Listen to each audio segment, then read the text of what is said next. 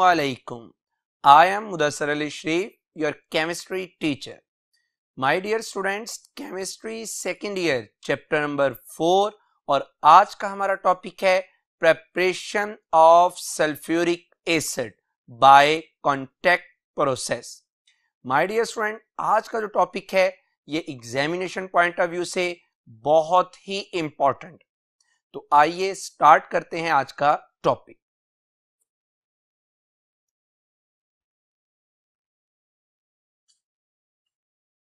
जी dear students topic है sulphuric acid my dear students सबसे पहले हम थोड़ी सी Muslim scientist Jabir bin Hayyan in eight century और इसी वजह से जाबर बिन हयान को केमिस्ट्री का फाउंडर भी कहा जाता है। ये तो बात थी मुस्लिम साइंटिस्ट की, जिसने सबसे पहले सल्फ्यूरिक एसिड को प्रिपेयर किया। अगर माय डियर स्टूडेंट्स हम यूरोप की बात की जाए तो in Europe, in fourteen and fifteenth century commercial preparation of sulphuric acid was started क्यों? कमर्शियली क्यों सल्फ्यूरिक एसिड की प्रेपरेशन स्टार्ट हुई? Due to awareness of its properties and uses यानी इस वजह से इसको कमर्शियल लार्ज स्केल पर प्रिपेयर किया जाने लगा क्योंकि इसकी बहुत ही इंपॉर्टेंट प्रॉपर्टीज़ हैं, जिनकी वजह से ये ऑलमोस्ट किसी भी कंट्री की तमाम इंडस्ट्रीज़ में क्या होता है? इस्तेमाल होता है। किस किस तरह से इस्तेमाल होता है? वो भी इनशाला हम आने वाले लेक्चर्स में डिटेल से डिस्कस करेंगे। माय डियर स्टूडेंट्स जब मैंने कहा कि ये जो सल्फ्यूरिक एसिड है, ये बहुत ही इंपॉर्टेंट है तो याद रखिएगा कि जो सल्फ्यूरिक एसिड है, इसको आखिर कमर्शियल स्केल पर ही तैयार करने की ज़रूरत क्या थी? तो मैं आपको इसका जवाब ये दूँगा कि जो सल्फ्यूरिक एसिड है sulphuric acid as such does not occur in nature however small quantities of sulphuric acid exist in some waters of springs and rivers.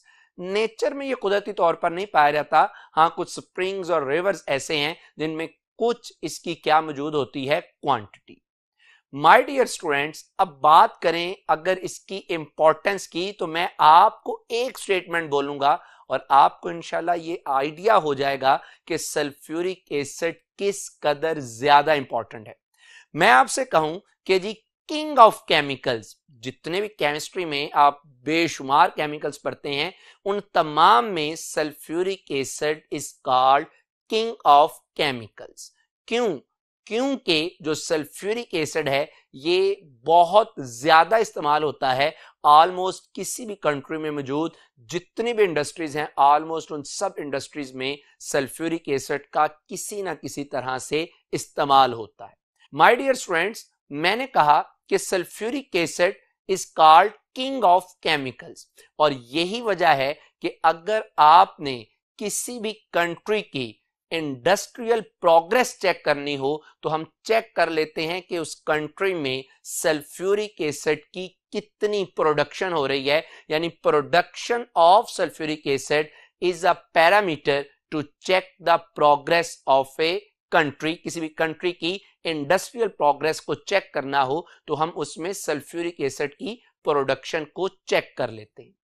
My dear students एक और बात याद रखिएगा कि sulphuric acid was called oil of vitriol इसे oil of vitriol भी कहा जाता था। क्यों? Because it was prepared by distilling vitriol और विट्रियल क्या है? ग्रीन विट्रियल जिसे का केमिकल फार्मूला है FeSO4.7H2O यानी चूँकि इसको ग्रीन विट्रियोल से प्रिपेयर किया गया था तो इसी वजह से हमने इसका एक और नाम भी प्रपोज कर रखा था, और वो नाम मैंने आपको बताया oil of vitriol my dear students sulphuric acid को प्रिपेयर करने के बहुत से मेथड्स हैं। लेकिन आज के इस लेक्चर में जो हम डिटेल से मेथड डिस्कस करने जा रहे हैं for the manufacture of sulphuric acid that is contact process my dear students याद रखिएगा कि जो सल्फ्यूरिक एसिड का कॉन्टेक्ट प्रोसेस से बनना है that method was introduced by Knietsch in Germany German एक साइंटिस्ट था इसने सल्फ्यूरिक एसिड को प्रिपेयर करने का यह मेथड इंट्रोड्यूस करवाया। बेसिकली इस मेथड में होता क्या है? Basically this method involve the catalytic combination of sulphur with oxygen to form sulphur dioxide यानी इसमें बुनियादी तौर पे कैटलिस्ट की मौजूदगी में सल्फ़र ऑक्सीजन आपस में रिएक्ट करके SO2 बनाते हैं और फिर ये जो SO2 प्रोड्यूस होता है, इसे हम डिजोल्व करते हैं in water to produce the sulphuric acid my dear students ये जो मैंने आपको दो स्टेप्स कहे कि पहले स्टेप में सल्फ़र और ऑक्सीजन से हम सल्फ़र डाइऑक्साइड बनाते हैं, फिर सल्फ़र डाइऑक्साइड को हम वाटर में डिजोल्व करते हैं टू फॉर्म सल्फ्यूरिक एसिड ये एक बेसिक टेक्निक है इस कॉन्टेक्ट प्रोसेस से सल्फ्यूरिक एसिड को बनाने की। आज के दौर में, आज मॉडर्न पीरियड में हमने इस मेथड को थोड़ा सा क्या किया है? मॉडिफाई किया है। इस मेथड को किस तरह से हमने मॉडिफाई किया है? मैं उस मॉडिफिकेशन को आपके सामने रखने जा रहा हूँ जब मैं इसका डिस्कस करने लगा हूँ प्रिंसिपल यानी कॉन्टेक्ट प्रोसेस का प्रिंसिपल क्या है? जिसके बिहाफ पर हम सल्फ्यूरिक एसिड को क्या करते हैं? Produce my dear students topic में मौजूद प्रिंसिपल को स्टार्ट करने से पहले मैं आपके साथ ये बात भी क्लियर करूँगा इंशाला कि क्यों इस प्रोसेस का नाम कॉन्टेक्ट रखा गया। यानी कॉन्टेक्ट के अंदर ऐसी क्या बात है कि हमने इस प्रोसेस का नाम ही, इस प्रोसेस में क्या ऐसी चीज़ है कि हमने इस प्रोसेस का नाम ही क्या रख दिया? कॉन्टेक्ट प्रोसेस याद रखिएगा जैसे जैसे हम टॉपिक पढ़ते जाएँगे एट द एंड में आपको जवाब दूँगा इंशाला कि क्यों हमने इसका नाम कॉन्टेक्ट प्रोसेस रखा। तो बहरहाल, मैं आपसे बात करने चाह रहा था प्रिंसिपल बुनियादी तौर पे इसके प्रिंसिपल में हम क्या करते हैं कि sulphur dioxide is prepared by burning sulphur और iron pyrite which is the ore of sulphur तो हम इसमें क्या करते हैं? Sulphur dioxide is obtain by burning sulphur और iron pyrite is oxidised to SO3 यानी sulphur trioxide my dear students मैंने इसमें दो बातें कर दी। पहली बात मैंने ये की कि हम सल्फ़र की बर्निंग करवाते हैं, या प्योर सल्फ़र ले लेते हैं, या सल्फ़र की और आयरन पायराइड ले लेते हैं, और इसकी बर्निंग से, यानी ऑक्सीजन के साथ रिएक्शन करवाने से हम यहाँ से प्रोड्यूस करते हैं क्या? SO2 वो जो SO2 प्रोड्यूस होती है, हम उसे ऑक्सीडाइज कर देते हैं किसमें? SO3 माय डियर स्टूडेंट्स ये जो सल्फ़र डाइऑक्साइड ये थोड़ा सा आपको भी हिंट दे रहा हूँ। डिटेल से इंशाल्लाह इस लेक्चर में भी हम पढ़ेंगे। ये जो सल्फ़र डाइऑक्साइड प्रोड्यूस होती है, इस सल्फ़र डाइऑक्साइड को जैसा कि मैंने आपसे कहा, हम ऑक्सीडाइज करते हैं। किसमें sulphur trioxide my dear students मैं आपके साथ यहीं पे कुछ बातें क्लियर करना चाहता हूँ। अगर आप देखें तो ये जो रिएक्शन है सल्फ़र डाइऑक्साइड का सल्फ़र ट्राइऑक्साइड में जाना that reaction is reversible and exothermic ये रिवर्सिबल रिएक्शन है और एक्सोथर्मिक रिएक्शन है। और इस दौरान जो हीट रिलीज़ होती है that is minus two sixty nine point three kilo joule per mole अब माय डियर स्टूडेंट्स जब आप कहते हैं कि हम सल्फ्यूरिक एसिड को इंडस्ट्रियल लेवल पर प्रिपेयर कर रहे हैं तो उस वक्त अगर कोई रिएक्शन रिवर्सिबल हो जाए तो हमारे लिए ये इकोनॉमिकली अच्छा रिएक्शन साबित नहीं होता, क्योंकि रिवर्सिबल रिएक्शन में रिएक्टेंट्स आपस में मिलकर प्रोडक्ट्स बनाती हैं और प्रोडक्ट दोबारा कन्वर्ट होते हैं किसमें? रिएक्टेंट्स में।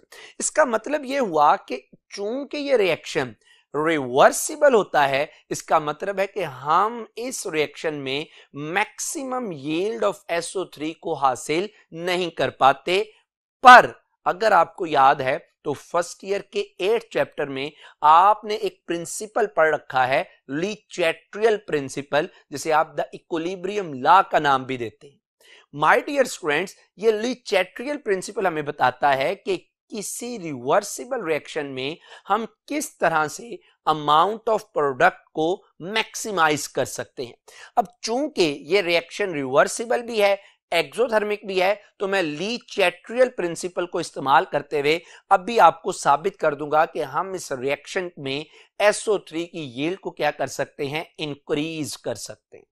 माय डियर स्टूडेंट्स सबसे पहले हम, मैं आपको यहाँ पे तीन बातें आपके साथ डिस्कस करूँगा, जिससे इसकी जो यील्ड है वो क्या कर जाएगी? इंक्रीज माय डियर स्टूडेंट्स याद रखिएगा कि अगर रिवर्सिबल रिएक्शन में आप कोई भी रिएक्टेंट ऐड करते हैं तो इससे अमाउंट ऑफ़ प्रोडक्ट क्या हो जाती है?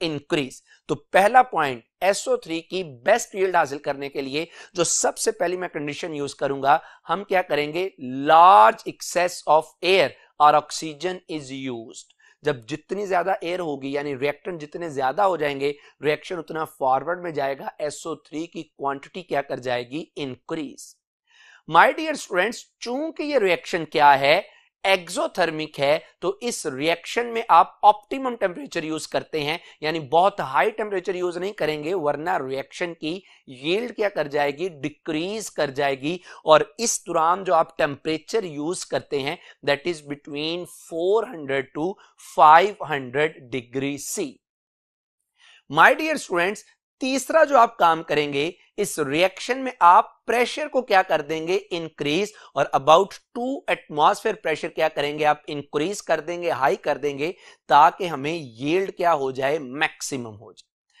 अब यहाँ पे यकीनन आपके जहन में क्वेश्चन आ रहा है कि, सर, आपने तो टेम्परेचर इंक्रीज करने का नहीं कहा। नो डाउट सर अगर टेम्परेचर इंक्रीज करेंगे यील्ड कम हो जाएगी, लेकिन अगर हम टेम्परेचर इंक्रीज कर लेते तो इससे हमारा रेट ऑफ़ रिएक्शन क्या कर जाता? इंक्रीज कर जाता। अगर आपने टेम्परेचर नहीं बढ़ाया तो इसका मतलब है रेट ऑफ़ रिएक्शन स्लो हो गया, जिसका मतलब है कि ये रिएक्शन कॉस्टली हो गया इकोनॉमिकल नहीं रहा। तो my dear students reaction kinetics chemistry की जो ब्रांच है, वो हमें इस प्रॉब्लम का भी सोल्यूशन देती है। हमने टेम्परेचर भी इंक्रीज नहीं करना, बहुत ज़्यादा हाई नहीं करना, और येल्ड भी मैक्सिमम हासिल करनी है रेट को भी इंक्रीज करना है। तो इसका सोल्यूशन है कि हम यहाँ पे कैटालिस्ट यूज़ कर लेते हैं and that catalyst is vanadium pentoxide V2O5 my dear students जब आप कैटलिस्ट यूज़ करते हैं, जब आप एक्सेस एयर या ऑक्सीजन देते हैं, जब आप टेम्परेचर 400 टू 500 डिग्री से मेंटेन करते हैं, जब हाई प्रेशर 2 एटीएम देते हैं तो इन सब का नतीजा ये निकलता है कि हमारे पास SO3 की क्वांटिटी क्या कर जाती है? इंक्रीज क्योंकि रिएक्शन इन सब की वजह से फॉरवर्ड डायरेक्शन में क्या कर जाता है? प्रोसीड कर जाता है। अब माय डियर स्टूडेंट्स दो स्टेप्स हो गए। पहले स्टेप में आपने सल्फ़र ऑक्सीजन सल्फ़र या आयरन पायराइड को ऑक्सीजन के साथ जलाया SO2 बना। SO2 को आपने SO3 में कन्वर्ट कर दिया। देन हम क्या करते हैं? ये जो SO3 प्रोड्यूस हुआ है it is dissolve in concentrated sulphuric acid इसको कंसंट्रेटेड सल्फ्यूरिक एसिड में डिजॉल्व करते हैं और यहाँ से ओलियम जिसे डाइसल्फ्यूरिक एसिड या जिसे पायरोसल्फ्यूरिक एसिड बोलते हैं, वो प्रोड्यूस होता है H2S2O7 अब ये जो ओलियम प्रोड्यूस होता है, इसके ज़रिए से हम अपनी रिक्वायर्ड कंसंट्रेशन का सल्फ्यूरिक एसिड प्रोड्यूस कर सकते हैं प्रिपेयर कर सकते हैं बाय एडिंग एडिक्यूट मुनासिब एडिक्यूट क्वांटिटी ऑफ़ वाटर तो इस तरह से हम बुनियादी तौर पे इस प्रिंसिपल के ज़रिए से सल्फ्यूरिक एसिड को क्या करते हैं? Prepare no doubt my dear students यहाँ पे आपके जहन में फिर एक क्वेश्चन आ रहा होगा। सर, ये बात तो ठीक है कि पहले आपने SO2 प्रोड्यूस की, फिर SO3 सर, जब आपने SO3 प्रोड्यूस की तो हम तो सल्फ्यूरिक एसिड बनाने जा रहे हैं। आपने दोबारा SO3 को H2SO4 में डिजोल्व करके ओलियम बनाया, फिर अगले स्टेप में सल्फ्यूरिक एसिड। तो क्या सर ये बेहतर नहीं था कि आप SO3 को डिजोल्व करते वाटर में और डायरेक्ट यहाँ से सल्फ्यूरिक एसिड बना लेते? तो माय डियर स्टूडेंट्स आज के इस लेक्चर में ये जो आप इंशाल्लाह पता चलेगा कि हम SO3 को डायरेक्ट वाटर में डिजोल्व नहीं करते टू प्रिपेयर सल्फ्यूरिक एसिड, बल्कि SO3 को डिजोल्व किया जाता है in concentrated sulphuric acid to form oleum and then sulphuric acid. कैसे? इंशाल्लाह ये सारी बातें क्लियर हो जाएँगी। माय डियर स्टूडेंट्स जब आप, अब ये तो प्रिंसिपल हो गया, जब आप इसको डिटेल से पढ़ना चाहें कि मैन्युफैक्चर ऑफ़ सल्फ्यूरिक एसिड में कौन कौन से स्टेप्स हैं तो याद रखिएगा there are four steps there are four steps to prepare the sulphuric acid by using contact process my dear students वो चार स्टेप्स कौन से हैं? मैं आपके सामने रख दूँ। पहले एक नज़र में तो सबसे पहला जो स्टेप है वो है सल्फ़र बर्नर्स और इसमें हम प्रिपेयर करेंगे SO2 माय डियर स्टूडेंट दूसरा हमारे पास स्टेप है प्योरीफाइंग यूनिट इस स्टेप में हम क्या करते हैं कि जो SO2 प्रोड्यूस हुई है, इस SO2 को हम प्योर करते हैं from impurities like dust like arsenic oxide like moisture वगैरह, सबसे हम क्या करते हैं, इसको रिमूव करते हैं। माय डियर स्टूडेंट तीसरे स्टेप में हम क्या करते हैं कि ये जो SO2 प्रोड्यूस हुआ है, इसे कन्वर्ट करते हैं किसमें? SO3 में, यानी तीसरे नंबर पर हम डिस्कस करेंगे कॉन्टेक्ट टावर जिसमें मैंने बताया कि SO2 को कन्वर्ट किया जाता है SO3 और चौथे स्टेप में ये जो SO3 बना है, इससे हम ओलियम और ओलियम से सल्फ्यूरिक एसिड बनाएँगे और इस स्टेप का नाम हमने रखा है एब्जॉर्शन यूनिट ये चार स्टेप्स हैं जिनको यूटिलाइज करते हुए आज के इस लेक्चर में हम कॉन्टेक्ट प्रोसेस से सल्फ्यूरिक एसिड को प्रिपेयर करते माय डियर स्टूडेंट्स आइए जरा वन बाय वन इन तमाम स्टेप्स को डिटेल से स्टडी करते सबसे पहले हम बात करेंगे सल्फ़र बर्नर्स की और सल्फ़र बर्नर्स में आपको पहले भी आइडिया दे चुका कि इसमें हम क्या करते हैं SO2 को प्रिपेयर करते हैं। जैसा कि हमने अभी एक बात की कि इस SO2 is prepared by burning molten sulphur और आयरन पायराइड डिपेंड करता है कि अवेलेबिलिटी किस चीज़ की है। अगर सल्फ़र चीप इजीली अवेलेबल है तो फिर हम सल्फ़र से SO2 बनाते हैं। और अगर आयरन पायराइड अवेलेबल है तो फिर हम आयरन पायराइड से SO2 बनाते हैं। बहरहाल, दोनों केसेस में सल्फ़र का भी ऑक्सीजन के साथ रिएक्शन करवाया जाता है टू फॉर्म SO2 और इसी तरह आयरन पायराइड का भी ऑक्सीजन के साथ रिएक्शन करवाया जाता है टू फॉर्म SO2 तो ये जो कैटेगरी है, ये जो हेडिंग है, ये जो स्टेप है, इसको हम कहते हैं सल्फ़र बर्नर्स। और अगर मैं डायग्रामेटिकली आपको बताऊँ तो सबसे पहले ये मेरे पास एक पायराइट बर्नर है। पायराइट फर्नस है। यहाँ आप ये कह लें कि एक सिंपल फर्नस है। इस फर्नस में एक तरफ़ से मैं क्या ऐड करता हूँ? मोल्टन सल्फ़र और एक तरफ़ से मैं ऑक्सीजन यानी एयर की क्या देता हूँ? सप्लाई। जैसे मोल्टन सल्फ़र और एयर का आपस में रिएक्शन होता है तो इनके रिएक्शन से क्या चीज़ बन जाती है? SO2 यानी sulphur dioxide. My dear students, ये जो फर्नस से निकलने वाली सल्फ़र डाइऑक्साइड है, ये प्योर सल्फ़र डाइऑक्साइड नहीं, बल्कि ये इम्प्योर है। इस सल्फ़र डाइऑक्साइड में मौजूद हैं डस्ट पार्टिकल्स इस सल्फ़र डाइऑक्साइड में मौजूद है क्या?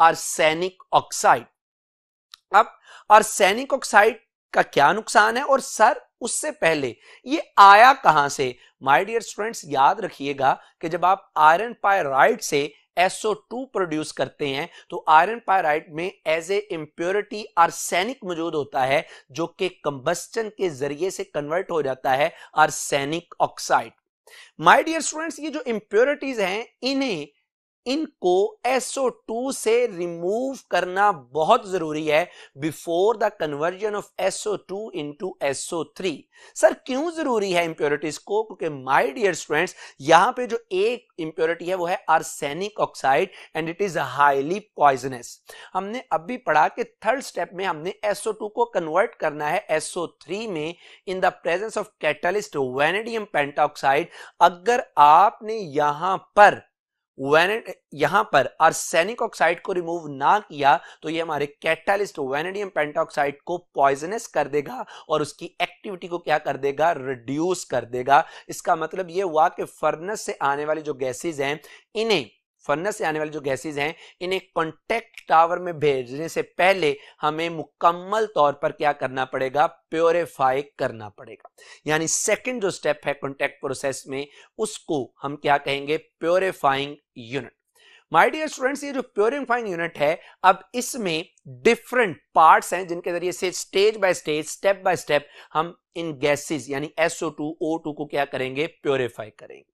अब हम यहाँ पे क्या करते हैं, जो सबसे पहला है that is dust remover my dear student dust remover में हम क्या करते हैं कि आपसे जो फर्नेस से निकलने वाली गैसेज हैं, इन गैसेज में से हम क्या करते हैं dust particles are removed with the help of steam यानी हम क्या करते हैं कि ये जो डस्ट रिमूवर का टावर है, हम क्या करते हैं, इसके बॉटम से इम्प्योर गैसेस को बेचते हैं और टॉप सरफेस से हम स्टीम को इंट्रोड्यूस करवाते हैं।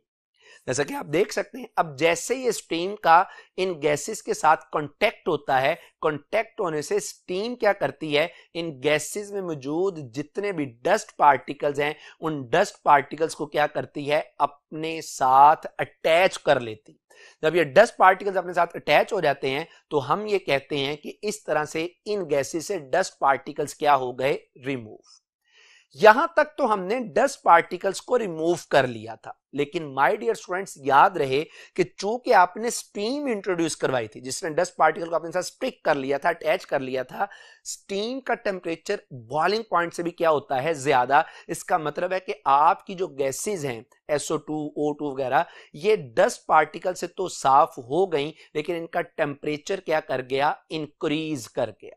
तो इसके लिए हम अगले स्टेप में इन गैसेस को बेचते हैं। कहाँ पर? इन गैसेस को भेजा जाता है कूलिंग पाइप पर। कूलिंग पाइप्स अब हम क्या करते हैं? These gases are pass through lead pipes जो लेड पाइप्स हैं, इन्हें क्या कर देते हैं? कूल कर देते हैं किस टेम्परेचर तक? 200 डिग्री सी 100 डिग्री सी तक। इसका मतलब है कि स्टीम का टेम्परेचर जैसा कि मैंने आपसे पहले कहा कि बॉइलिंग वाटर से भी क्या होता है? ज़्यादा। तो हम नेक्स्ट स्टेप में डस्ट रिमूवर के बाद हम इनको लेड पाइप्स में बेचते हैं ताकि इनका जो टेम्परेचर है वो डिक्रीज हो जाए और कितना रह जाए? 100 degree C my dear students in cooling pipes के बाद हम लोग इनको बेचते हैं स्क्रबर्स में। वैसे स्क्रबर का लफ्जी मतलब होता है रगड़ के साफ़ करना, छील देना। और आप में हो सकता है कि अक्सर स्टूडेंट स्क्रब भी करवाते हो, फेस पे स्क्रबिंग करवाते हैं ताकि स्किन फ्रेश हो जाए, जो डस्ट पार्टिकल उसके अंदर जॉब हो चुके हैं, वो क्या हो जाए रिमूव बहरहाल, ये तो एक सेपरेट बात थी। हम यहाँ पे स्क्रब स्क्रबर्स का इस्तेमाल करते हैं ताकि क्या हो इनमें से इंप्योरिटीज क्या हो जाएँ रिमूव माय डियर स्टूडेंट्स इसमें हम क्या करते हैं कि ये जो गैसेस हमारे पास आती हैं, इन गैसेस को क्या किया जाता है? कूल्ड जो गैसेस हमारे पास आई थी, इन कूल्ड गैसेस को हम क्या करते हैं? वॉश करते हैं with the spray of water यानी जो कूल्ड होके गैसेस आई थी एट 100 डिग्री सी हम इन्हें स्क्रबर्स में बेचते हैं और इनको वॉश किया जाता है किसके साथ? विद स्प्रे ऑफ़ वाटर अब चूँकि यहाँ पे आपने वाटर इस्तेमाल किया तो आपके जहन में ये क्वेश्चन अगर आता है कि सर वाटर तो SO2 को अपने अंदर क्या कर लेगा? डिजोल्व लेकिन याद रखिएगा कि ये जो गैसेस आ रही हैं, ये कूल तो हैं। प्रीवियस फर्नेस की निस्बत, लेकिन अभी भी इनका जो टेम्परेचर है, ये 100 डिग्री सी है और ये टेम्परेचर इतना ज़्यादा है कि यहाँ पर SO2 वाटर में डिजोल्व नहीं होती। यानी at high temperature SO2 is not absorb dissolve in water my dear student scrub से निकलने के बाद, चूँकि स्क्रबर्स में आपने वाटर का स्प्रे करके गैस को क्या किया है प्योरीफाई किया है, साफ़ किया है तो हम क्या करते हैं, इन स्क्रबर से निकलने के बाद, हम इन गैसेस को भेजते हैं नेक्स्ट यूनिट में, और नेक्स्ट यूनिट है हमारे पास क्या? Drying tower my dear students हमने क्या किया था? स्क्रबर्स में स्प्रे किया था वाटर का। और वाटर ने उसमें जो इम्प्योर्ड गैसेस थी इम्प्योर गैसेस थी, उनको क्या कर दिया? रिमूव कर दिया। इम्प्योरिटीज को रिमूव कर दिया। चूँकि आपने इस दौरान स्प्रे ऑफ़ वाटर यूज़ किया था तो इसका मतलब है कि हमारे पास ये गैसेस क्या हो जाती हैं? वेट हो जाती हैं।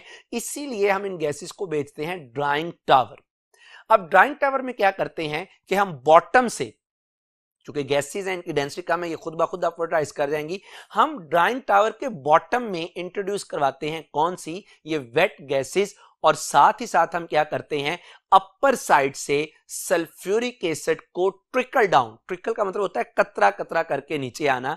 यानी बात ये कह रहा हूँ कि ये जो हमारे पास वेट गैसेज आती हैं, इन वेट गैसेज में moisture is removed by concentrated sulphuric acid trickling down trickling down coke filled in this tower यानी ये जो टावर आपको नज़र आ रहा है, इसके बॉटम में से, ये जो टावर है, पहली बात, हमने इस टावर के अंदर कोल्ड की फिलिंग कर दी है, जिसके अंदर होल्स मौजूद होते हैं। अपर साइड से हम कंसंट्रेटेड सल्फ्यूरिक एसिड को भेजते हैं और बॉटम से हमारी वेट गैसेज जा रही होती हैं। Sulphuric acid is a good dehydrating agent तो ये गैसेज से मॉइस्चर को क्या कर लेता है? रिमूव और इस तरह से हमारी गैसेज क्या हो जाती हैं? मॉइस्चर से साफ़, यानी ड्राई हो जाती हैं। माय डियर स्टूडेंट्स इस स्टेप के बाद हम गैसेस को बेचते हैं और सैनिक प्योरीफायर में जो कि इस प्योरीफाइंग यूनिट का सबसे इंपॉर्टेंट स्टेप है, सबसे इंपॉर्टेंट पॉइंट है, क्योंकि अगर आर्सेनिक रह जाता है गैसेस में तो ये हमारी गैसेस को भी क्या कर देगा? पॉइजनस तो अब इसमें कैसे इसमें हम गैसेस को कैसे आर्सेनिक के ऑक्साइड से प्योरीफाई करते हैं? हम क्या करते हैं?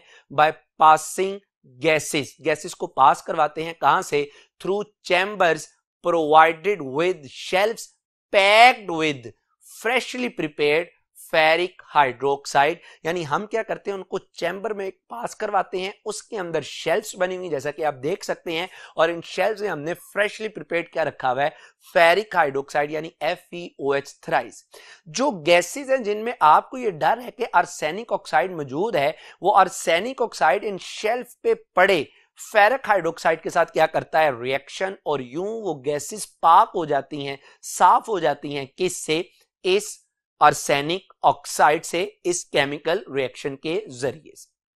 माय डियर स्टूडेंट्स यहाँ तक आपने डस्ट को भी रिमूव कर लिया, आपने गैसेस को स्क्रबिंग भी कर ली, आपने गैसेस से आर्सेनिक को भी प्योरीफाई कर लिया डिफरेंट ऑपरेशन आपने कर लिए। अब आप गैसेस को किस हद तक प्योरीफाई करने में कामयाब हुए हैं, इसका हमें पता चलता है प्योरीफाइंग यूनिट के आखिरी स्टेप पर and that is called testing box my dear student testing box में हम क्या करते हैं कि हमारे पास जो हम ये कहते हैं कि अब गैसेस प्योरीफाई हो गई SO2 और एयर वगैरह का जो मिक्सचर है, हम क्या करते हैं, इन गैसेस में से बीम ऑफ़ लाइट को पास करवाते हैं। Beam of light is pass through the gases to check the presence और एब्सेंस ऑफ़ सॉलिड पार्टिकल्स अगर गैसेस में अभी भी सॉलिड पार्टिकल होगा तो जो आपने बीम पास करवाई है, वो अब बिल्कुल स्ट्रेट पाथ पे मूव नहीं करेगी, बल्कि वो अपने रास्ते से स्कैटर हो जाएगी। जिसका मतलब है कि अभी भी अंदर सॉलिड मटेरियल मौजूद है। यूँ हम गैसेस को फर्दर फर्दर ऑपरेट करवाने की बजाय हम इसको दोबारा से प्योरीफाइंग यूनिट में भेज देते हैं।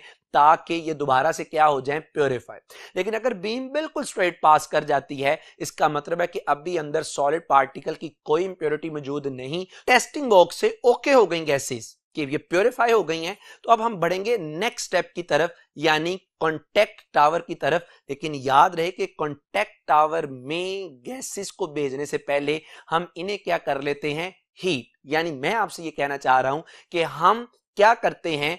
Pre heating of pre heating is done gases को क्या किया जाता है? प्री हीट किया जाता है। कहाँ पर? At 400 to 500 degree C pre heat करने के बाद जैसे ही हम इसको कॉन्टेक्ट टावर में भेजते हैं तो इन गैसेस को क्या करते हैं? Passed through vertical iron columns अब देख सकते हैं, ये जो टावर लॉन्ग से कॉलम आपको ये आयरन के बने होते हैं, ये क्या काम करते हैं? Vertical iron columns packed with vanadium penta oxide यानी एक तरफ़ से बॉटम से जो गैसेस हैं SO2 यानी और ऑक्सीजन एयर जब आप इनको बेचते हैं इस कॉन्टेक्ट टावर के अंदर तो हमने क्या किया है? आयरन के कॉलम है, इनको पैक कर दिया है। किसके साथ? वेनेडियम पेंटाऑक्साइड के साथ। अब ये जो गैसेस हैं, इन पैग कॉलम में मौजूद जो वेनेडियम पेंटाऑक्साइड है, ये उनके साथ क्या करते हैं? कॉन्टेक्ट करते हैं और इसी वजह से हमने इस प्रोसेस का नाम भी क्या रख दिया? कॉन्टेक्ट प्रोसेस यानी ये मैं मजीद बात करने से पहले मैं ये क्लियर कर दूँ कि why contact process is called so क्योंकि इस प्रोसेस में जो गैसेस हैं SO2O2 इनका कॉन्टेक्ट होता है with the surface of the catalyst that is why we call this process contact process तो बहरहाल, जब इनका कॉन्टेक्ट होता है वेनेडियम पेंटॉक्साइड के साथ तो इनकी ऑक्सीडेशन से ये कन्वर्ट हो जाते हैं किसमें? Sulphur tri oxide my dear students मैं आपको यहाँ पे एक और बड़ी इंपॉर्टेंट बात क्लियर करता चलूँ कि नो डाउट पूरे प्रोसेस में मैंने कहा कि जो कैटालिस्ट है, ये वेनेडियम पेंटा ऑक्साइड याद रखिएगा, आप वेनेडियम पेंटॉक्साइड की जगह प्लाटिनम को भी एज ए कैटालिस्ट यूज़ कर सकते हैं, लेकिन इसके दो प्रॉब्लम्स हैं कि जिसकी वजह से हम प्लेटिनम की बजाय वेनेडियम पेंटॉक्साइड को यूज़ करते हैं। उसमें पहली प्रॉब्लम यह है कि प्लेटिनम, जिसे आप आम जबान में व्हाइट गोल्ड कहते हैं, और ये ऑर्डिनरी गोल्ड से भी क्या होता है? महँगा। प्लेटिनम इज़ एक्सपेंसिव मेटल और दूसरी वजह कि इसके जो पॉइजनिंग के चांसेस हैं, वो वेनेडियम पेंटॉक्साइड से भी क्या होते हैं? ज़्यादा। इसके बरक्स जो वेनेडियम पेंटॉक्साइड है, ये चीप है तो हम इसको प्लाटिनम पे क्या कर देते हैं? प्रेफरेंस। तो बहरहाल, यहाँ से हमारे पास क्या चीज़ प्रोड्यूस हो जाती है? SO3 और इस दौरान एनर्जी मैंने आपको पहले बताया कि minus two sixty nine point three kilo joule पर मोल क्या होती है? रिलीज़। माय डियर स्टूडेंट्स, ये जो एनर्जी रिलीज़ हुई है ना, ये एनर्जी ही आप यूज़ करते हैं ताकि जो गैसेस आ रही हैं SO2, O2 उनका टेम्परेचर 400 टू 500 डिग्री तक क्या रहे? मेंटेन यानी आप एक दफ़ा गैस को हीट कर दें जब रिएक्शन स्टार्ट हो जाएगा तो आपको कंटिन्यूसली हीट करने की ज़रूरत नहीं पड़ेगी क्योंकि इस रिएक्शन के दौरान जो हीट खारिज होगी वो ही इस रिएक्शन का क्या कर देती है? टेम्परेचर मेंटेन कर देती है। और ये ही एक एडवांटेज भी है सल्फ्यूरिक एसिड को प्रिपेयर करने का किससे?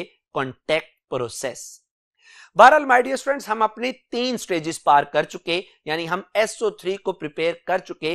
अब बात करेंगे लास्ट स्टेज की, यानी लास्ट स्टेप की एब्जॉर्शन यूनिट ये जो SO3 प्रोड्यूस होता है SO3 from contact tower is dissolve in 98% sulphuric acid to get its dissolve in 98% sulphuric acid to get oleum जिसे आप पायरोसल्फ्यूरिक एसिड भी बोलते हैं, जिसे आप डाइसल्फ्यूरिक एसिड भी बोलते हैं which has a chemical formula H2S2O7 या इसको आप ऐसे भी लिख सकते हैं H2SO4.SO3 माय डियर स्टूडेंट्स ये जो आप ओलियम हासिल करते हैं, इस ओलियम में आप क्या करते हैं, इस ओलियम को डेल्यूट करते हैं diluted with water to get sulphuric acid of required concentration तो जब आप ओलियम बना लेते हैं पहले स्टेप में, फिर अगले स्टेप में आप इसके अंदर वाटर ऐड करते हैं 90 परसेंट चाहिए 99 परसेंट चाहिए 100 परसेंट चाहिए 98 परसेंट चाहिए, जितने परसेंट भी आपको सल्फ्यूरिक एसिड चाहिए होता है, उसी के अकॉर्डिंगली आप इसमें क्या ऐड करते हैं? वाटर और हमारे पास देख सकते हैं आपकी क्या प्रिपेयर हो जाता है sulphuric acid my dear students यहाँ तक हमने सल्फ्यूरिक एसिड की प्रेपरेशन को डिटेल से स्टडी किया। अगर मैं ये सारा प्रोसेस जो मैंने आपको स्टेप वाइज समझाया, अगर मैं एक ही दफ़ा आपको स्टार्ट से एंड तक बताऊँ तो आप इस डायग्राम में, आप इस एनिमेशन में देख सकते हैं कि सबसे पहले हमने सल्फ़र या आयरन पायराइड की बर्निंग की। बर्निंग से इन गैसेस को सेकंड स्टेप प्योरीफाइंग यूनिट में भेजा। प्योरीफाइंग यूनिट में आपने सबसे पहले डस्ट पार्टिकल्स को रिमूव किया, फिर आपने गैसेस को कूल किया, फिर आपने स्क्रबिंग की, फिर आपने इनको ड्राई किया और फिर आपने इसमें से आर्सेनिक को प्योरीफाई किया। इन सारे प्रोसेस के बाद अपने काम पे मोहर लगाने के लिए कि हमने अच्छे तरीके से प्योरीफाई किया, हम इन गैसेस को टेस्टिंग बॉक्स में भेजते हैं और टेस्टिंग बॉक्स में जब ये क्लियर हो जाती हैं कि प्योरीफाई हैं तो फिर हम इनको भेजते हैं कॉन्टेक्ट टावर में और वहाँ से एंड पर हम इसको एब्जॉर्शन टावर में भेजते हैं एब्जॉर्शन यूनिट में भेजते हैं, जहाँ से हमारे पास जो है सल्फ्यूरिक एसिड वो प्रिपेयर किया जाता है। जी माय डियर फ्रेंड्स अब एट द एंड में ये बात करूँगा आपके साथ कि why S O three is dissolve in sulphuric acid and not in water कि हमने एसओ थ्री को वाटर में डिजोल्व करने की बजाय सल्फ्यूरिक एसिड में क्यों डिजोल्व किया? और ये आपकी एक्सरसाइज का क्वेश्चन भी है। माय डियर स्टूडेंट इसकी चार रीजन हैं कि हमने SO3 को सल्फ्यूरिक एसिड में डिजोल्व किया। सबसे पहली बात कि जब आप SO3 को वाटर में डिजोल्व करते हैं the dissolution of SO3 in water is highly exothermic process एक बात माय डियर स्टूडेंट जब आप SO3 को वाटर में डिजोल्व करते हैं तो इस दौरान डेंस फोग प्रोड्यूस होती है which can not be condensed easily my dear student तीसरी बात, याद रखिएगा कि जो सल्फ्यूरिक एसिड है, अगर हम SO3 को वाटर में डिजोल्व करते हैं sulphuric acid of required concentration can not be prepare और माय डियर स्टूडेंट फोर्थ जो पॉइंट है कि चूँकि रिएक्शन एक्सोथर्मिक हीट इवॉल्व हो जाती है तो solubility of SO3 in water at high temperature is very low high temperature पर इसकी सॉलेबिलिटी क्या होती है? लो तो ये वो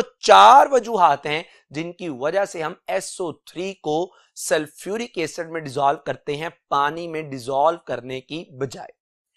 आखिरी बात आज के लेक्चर की कि कॉन्टेक्ट प्रोसेस से ही सल्फ्यूरिक एसिड को आज वर्ल्ड वाइड क्यों प्रिपेयर किया जाता है? My dear student 200 million ton 200 million ton पर ईयर प्रोडक्शन है किसकी? Sulphuric acid the in the world wide और ऑलमोस्ट सारा सल्फ्यूरिक एसिड प्रिपेयर किया जाता है कॉन्टेक्ट प्रोसेस से। तो इसका मतलब है कि कॉन्टेक्ट प्रोसेस में कुछ ना कुछ खास बात है। वो खास बात क्या है? वो चार खास बातें हैं। इनमें सबसे पहली बात कि by using contact process we can prepare sulphuric acid of any concentration एक. सेकंड आपने गौर किया सल्फ्यूरिक एसिड के रिएक्शन में कि कोई भी साइड प्रोडक्ट नहीं बनती, यानी as no side product is produced so it is environmental friendly process एक वाहद अकलौती प्रोडक्ट सल्फ्यूरिक एसिड प्रोड्यूस होता माय डियर स्टूडेंट तीसरी जो बात है it is commercial method to prepare sulphuric acid और आखिरी बात इसके एडवांटेज की कॉन्टेक्ट प्रोसेस के, वो ये है कि इस रिएक्शन में we use solid catalyst vanadium pentoxide which can be easily handled तो माय डियर स्टूडेंट आज के इस लेक्चर में, अल्हम्दुलिल्लाह, हमने सल्फ्यूरिक एसिड को कॉन्टेक्ट प्रोसेस से मैन्युफैक्चर करने का मेथड डिटेल से पढ़ा, इसके एडवांटेजेस को डिस्कस किया। उम्मीद है कि आज की बातें आपको बड़े अच्छे से क्लियर हुई होंगी। मेरी अल्लाह सुबहाना तला से दुआ है कि आप पे अपना रहम, करम, फजल फरमाए। अपना बहुत ज़्यादा ख्याल रखिएगा। अस्सलाम वालेकुम